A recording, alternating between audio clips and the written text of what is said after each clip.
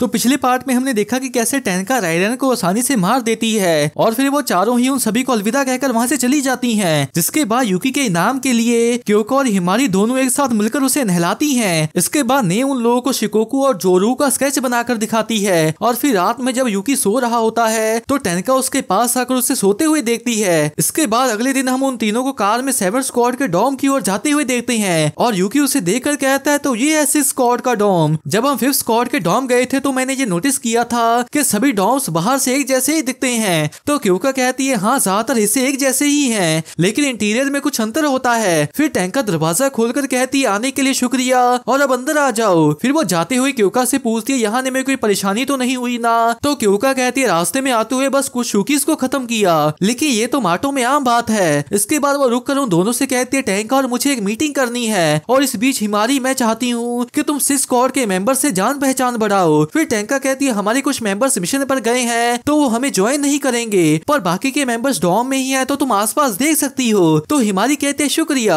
फिर क्योका यूकी से कहते हैं, यूकी याद है ना, जैसा हमने सुबह डिस्कस किया था? तो यूकी कहता है, जी मैम स्क्वाड का केयर टेकर होने के नाते जब तक हम यहाँ है, मुझे उनकी मदद करनी है। फिर टैंका कहती है, मुझे माफ़ करना, हमारी केयर टेकर इस वक्त डॉम में नहीं है, वो शाम तक आ जाएगी तो ये बस तब तक के लिए ही है। तो यूकी कहता है, कोई दिक्कत नहीं। डीमन डिफेंस फोर्स का हिस्सा होने के नाते हमें एक दूसरे की मदद करनी चाहिए। और टैंका कहती है हाँ मैं ये तुम पर छोड़ती हूँ। और उसे देखकर यूकी भी शर्मा जाता है। और फिर कहता है, जी, मैम, इसे मुझ पर छोड़ दीजिए। इसके बाद वो वहाँ की सफ़ाई करने के लिए तैयार हो जाता है, लेकिन उसे कहीं पर भी गंदगी नहीं मिलती। जिसके बाद वो कहता है, अगला काम लॉन्ड्री का है। लेकिन वहाँ पर बस उन सभी की अंडरवियर और ब्रास ही होती है, जिसे देखकर यूकी मन में कहता है, सांस लो और बस शांत रहो। तुम सेवन स्क्वाड की लॉन्ड्री हमेशा करते हो। लेकिन इतनी अलग अलग तरीके की अंडरवियर और ब्रास को देखकर वो पूरी तरह से लाल हो जाता है। और कहता है, रहने दो, मुझे अभी इसकी आदत नहीं हुई है। इधर शुशु फ़ोन चलाते हुए कहती है यूकी अभी क्या कर रहा होगा? काश मैं भी उसके साथ जा पाती। जिसके बाद वो उसके साथ की हुई किस को याद करती है और फिर आगे कहती है, नहीं, मैंने खुद को कहा है कि मैं उसकी पसंद बनूँगी और मुझे समय को खुद को बेहतर करने में लगाना चाहिए। फिर वो अपने कमरे की ओर देख कहती है, लगता है मुझे ये सफ़ाई करने से ही शुरू करना चाहिए। इधर यूकी के हाथ में याचियों की यूनिफॉर्म होती है और वो कहता है, ये हिमारी की बड़ी बहन का कमरा है। जिसके बाद वो उसके बारे में याद करता है और फिर कहता है, पता नहीं, वो मुझे देखकर क्या बोलेगी? फिर वो डोर को नॉक करता है, लेकिन कोई जवाब नहीं आता। फिर यूकी दो बार और बुलाता है, लेकिन फिर भी कोई जवाब नहीं आता। फिर वो आगे कहता है, वो यहाँ नहीं है। तो लगता है, मुझे इसे उसके कमरे में ही रख देना चाहिए। फिर वो दरवाज़ा खोलकर कहता है, अंदर आने के लिए माफ़। पर तभी वो वहीं पर रुक जाता है और वो देता है कि याचियों के पूरे कमरे में बस हिमारी की ही पिक्चर्स लगी होती हैं।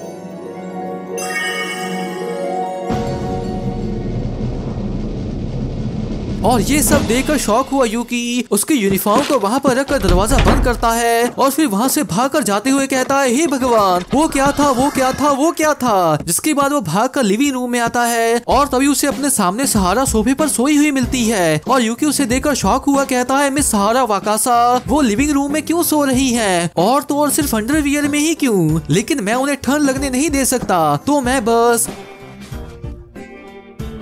पर तभी सहारा उसे पकड़ लेती है। और फिर यूकी मन में कहता है, क्या वो मुझे अपना पिलो समझ रही है, जिसके बाद सहारा उसे हक करती है? और यूकी मन में कहता है, किसी के देखने से पहले मुझे निकलना होगा, लेकिन सहारा उसे अपनी टांगों से पकड़कर कहती है, तुम कहीं नहीं जा सकते। फिर यूकी मन में कहता है, ओ हाँ ये वही लड़की है, जो एक्सिबिशन मैच में प्रो रेसलर की तरह लड़ी थी, पर फिर भी मुझे निकलना होगा। तभी सहारा कहती है, बच्चे से रहो। फिर युकी आगे कहता है, और मैं निकलना चाहता था, लेकिन मैं निकल नहीं पाया, और फिर मैंने सोचना ही छोड़ दिया। इसके कुछ वक्त के बाद सहारा उठकर कहती है, मुझे माफ़ करना। मैं भूल गई थी कि सेवर स्क्वाड आ जाने वाली है। तभी वो दोनों सामने देखकर चौंक जाते हैं, क्योंकि वहाँ पर हिमारी खड़ी होती है और यूकी आकर पूछता है, क्या हुआ हिमारी तो हिमारी कहती है, मैं उसकी ट्रेनिंग खत्म होने का इंतज़ार कर रही हूँ। और इधर हम देखते हैं कि याचियो पूरी जी जान लगाकर ट्रेनिंग कर रही होती है। फिर हिमारी सहारा से पूछती है, क्या याचियो ये हर दिन करती है? तो सहारा कहती है, बिल्कुल। और उसने एक्सिबिशन मैच के पहले भी इसी तरह की ट्रेनिंग की थी। और हिमारी कहती है, वो अब और भी ज़्यादा मेहनत मेहनत कर रही है। फिर सहारा पूछती है, हे हिमारी, क्या तुम याचियों को आदर्श मानती हो? तो हिमारी कहती है, उसकी पर्सनैलिटी बेकार है, लेकिन वह पढ़ाई और स्पोर्ट्स में अच्छा करती थी, इसलिए मैं हमेशा उससे कुछ ना कुछ सीखना चाहती थी। फिर सहारा कहती है पर्सनली मुझे ये थ्योरी पसंद है कि किसी की पीच की एबिलिटी उसके ज्ञान और बर्ताव पर निर्भर करती है। तो तुम्हारे केस में हिमारी याचियों से सीखने की तुम्हारी इच्छा, तुम्हारी एबिलिटी बन गई। याचियों की टाइम कंट्रोल की एबिलिटी भी ऐसी ही है, जो कि उसकी छोटी बहन के साथ समय बिताने की इच्छा से बनी है। ये बात सही लगती है ना जिसे सुनकर हिमारी अजीब सा चेहरा बना लेती है और फिर कहती है "मम्मू, मुझे लगता है ये बकवास है। तो सहारा कहती है तुम्हें जो मानना है मानो लेकिन ये अच्छा होगा अगर तुम उससे जरा सी और बातें किया करो। सही कहा ना यूकी। तो यूकी कहता है हाँ तुम्हारी बहन बड़ी कूल है और ये लो। तो हिमारी कहती है हाँ मुझे भी जरा सा लगता है। फिर वो याचियों के पास उस कपड़े को लेकर जाती है और मुस्कुराती है जिसे देखकर याचियो भी मुस्कुराती है पर तभी वो अचानक से उसे छीन लेती है जिसे देखकर हिमारी कहती है तुम मुझे कम से कम शुक्रिया तो बोल सकती हो ना? तो याचियो कहती है, ओ, माफ़ करना तुम्हें सुन नहीं सकती। इधर सहारा कहती है, ये देखकर राहत मिली। वो अब एक दूसरे के साथ अच्छे से रहने लगी हैं। अरे हाँ मुझे लगता है उससे याचियों का कमरा दिखाना सबसे असरदार सोल्यूशन होगा। तो यूकी अजीब से चेहरे के साथ कहता है, शायद हमें उससे राज ही रखना चाहिए। इधर टैंका पूछती है, क्या ह्यूमिनॉइड शुकी की तलाश करना? तो क्योका कहती है हाँ इस लेटेस्ट हमले के बाद हमने ह्यूमिनॉइड्स की कोई भी हरकत नहीं देखी है। तो यहाँ इंतज़ार करने की बजाय मैं सोच रही हूँ कि हमें पहले हमला करना चाहिए। तो टैंका कहती है हाँ अच्छा पॉइंट है। फिर क्योका कहती है, और कुछ दिन पहले उस क्रेटर में जहाँ बहुत सारे शुकी आ गए थे, तब हमने वहाँ पर पहले ह्यूमिनॉइड को देखा था। मुझे लगता है हमें हमारी जाँच वहाँ से शुरू करनी चाहिए। तो टैंका कहती है, ठीक है, मुझे इससे कोई दिक्कत नहीं। और मैं भी जानने के लिए बेताब हूँ कि और कितने ह्यूमिनॉइड्स हैं। हमने अभी तक टोटल चार तो कंफर्म किए ही हैं। फिर क्योका कहती है, लेकिन तुमने पहले ही चार में से एक को तो खत्म कर दिया है ना? तो टैंका कहती है, मैं श्योर नहीं हूँ। और सच कहूँ तो मुझे ऐसा महसूस नहीं हुआ कि वो सच में मर गया। इधर माटो में ही दूर कहीं एक जगह पर हम रायरैन को आते हुए देखते हैं और उसे देखकर शिकोकू कहती है, देखकर खुशी हुई कि तुम पूरी तरह से रिकवर हो गए हो रायरैन। और तुम इस बार सच में बाल बाल बचे। इसके बाद हमें पता चलता है कि जब रायरैन उस ब्लैक होल के अंदर जाने ही वाला होता है, उसी वक्त शिकोकू वहाँ पर आकर उसे पकड़कर वहाँ से ले जाती है। फिर वो रायरैन से कहती है अच्छा हुआ, मैं तुम्हारे साथ थी। तो रायरैन कहता है, मैं उसके बाद भी लड़ सकता था। फिर शिकोकू कहती है, तुम्हारी शोकी आर्मी खत्म होते ही तुम हार गए थे। और जोरू कहती है, मैं शिकोकू की बात से सहमत हूँ। फिर शिकोकू कहती है, चलो अपनी सिचुएशन देखते हैं। पहले दुश्मन की काबिलियत को जांचने के लिए मैंने थर्ड स्क्वाड से लड़ाई की और उन्हें हराना बहुत ही आसान था। लेकिन उस समय उनके कमांडर उनके साथ नहीं थी और इस हमले का असली मकसद एक कमांडर की ताकत को एक्सपीरियंस करने का था। लेकिन उन्होंने मेरी उम्मीद से बहुत ज़्यादा ही कर दिया।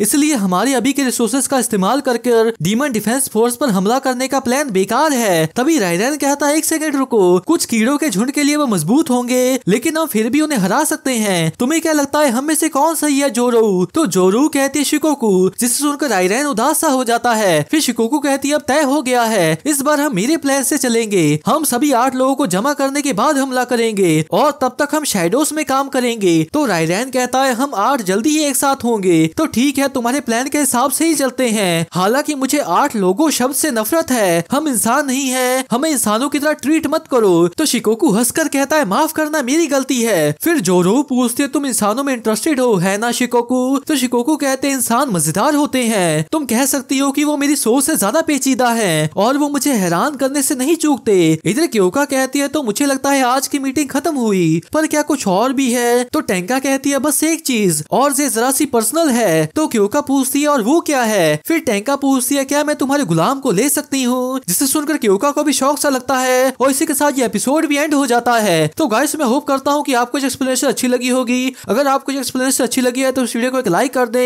और नीचे एक कमेंट भी ज़रूर कर दे। इसका नेक्स्ट एपिसोड अगले थर्सडे को रात को रिलीज़ होगा तो उसके एक्सप्लेनेशन वीडियो फ्राइडे या सैटरडे तक आ जाएगी। और अगर आप उसे मिस नहीं करना चाहते तो इस चैनल को ज़रूर सब्सक्राइब कर लीजिए। तो मिलते हैं एक और एक्सप्लेनेशन वीडियो के साथ। तब तक के लिए टाटा बाय बाय